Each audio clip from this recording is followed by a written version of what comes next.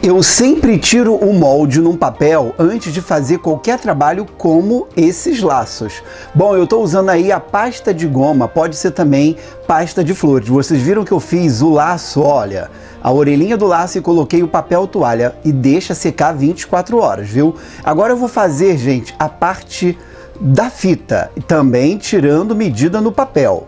Olha, agora você coloca para secar de um dia para o outro, olha como é que ficou bem durinho.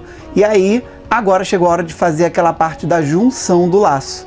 E você pode estar tá pintando esse laço, sabe com que? Com pó nacarado ou pó aperolado seco somente no pincel ou usando um pouquinho de gordura hidrogenada diretamente na pasta. E agora eu estou pintando de dourado e tá pronto o meu laço que tanto serve para bolos de casamento, 15 anos ou qualquer outra ocasião. Gostou? Veja o vídeo no passo a passo aqui no meu canal.